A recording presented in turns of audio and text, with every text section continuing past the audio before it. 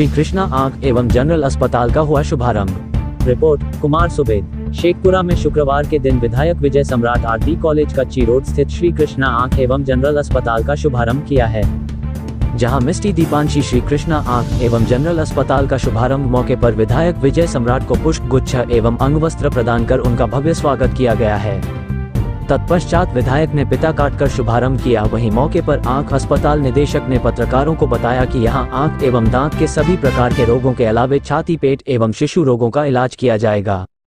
उन्होंने बताया कि यहाँ आँखों का जाँच कंप्यूटर द्वारा किया जाएगा। जहाँ प्रत्येक रविवार को मुफ़्त में लोगों का निशुल्क आँख का जाँच किया जाएगा। पत्रकारों से बात करते हुए आँख अस्पताल के निर्देशक जितेंद्र कुमार ने बताया कि जिला में ऐसा पहले आँख अस्पताल है जहाँ लोगों को मुफ़्त में आँख जाँच किया जाएगा। उन्होंने अस्पताल के शुभारंभ कार्यक्रम में आए हुए अतिथियों का स्वागत किया।